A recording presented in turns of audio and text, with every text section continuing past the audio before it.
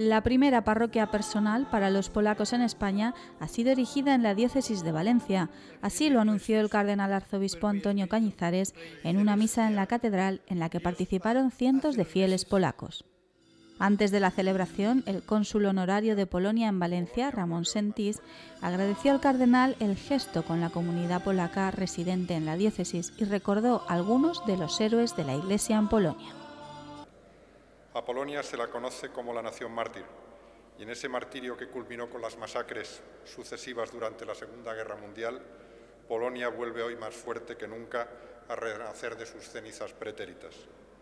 San Alberto Gemiolowski, Santa Faustina Kowalska, San Maximiliano María Kolbe, el Beato Jerzy Popielescu o el Papa San Juan Pablo II el Grande son claros ejemplos de la espiritualidad cristiana y católica de la Polonia más reciente y claro signo de la entrañable y profunda fe de la Polonia actual.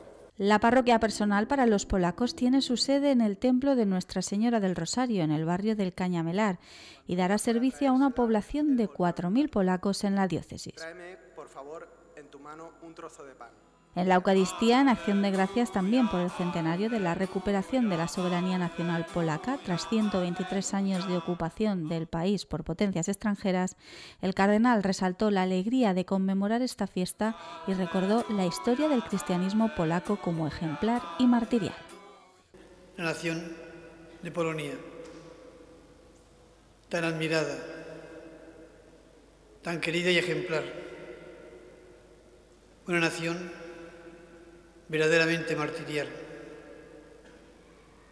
que habéis dado testimonio a lo largo del más del milenio de la conversión de la nación polaca, de que solo Dios es necesario. Deis testimonio de que lo primero y principal es el amor a Dios por encima de todo y al prójimo con nosotros mismos. Por su parte, el sacerdote polaco titular de la nueva parroquia personal agradeció al arzobispo de Valencia esta celebración. A su eminencia, a usted, don Antonio, gracias de corazón por su gran respeto hacia el pueblo polaco y por esta acogida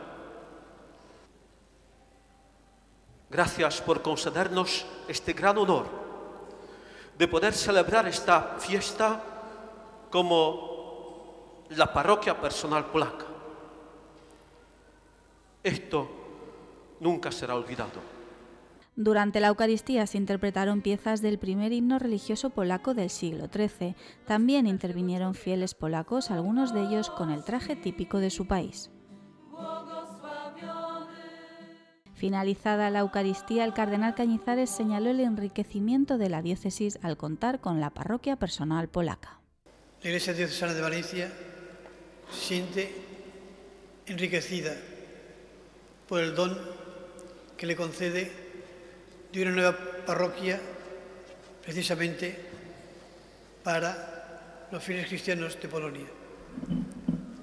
Sentíos plenamente diocesanos de Valencia sin abandonar vuestra patria.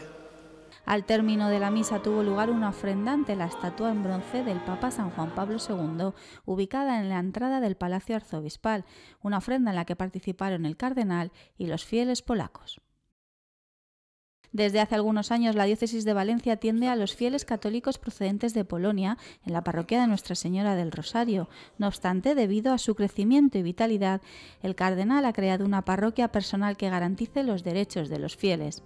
Una parroquia personal en la diócesis está compuesta por católicos que siguen un rito o un estilo de celebración en particular, son de una misma nacionalidad o por otras razones.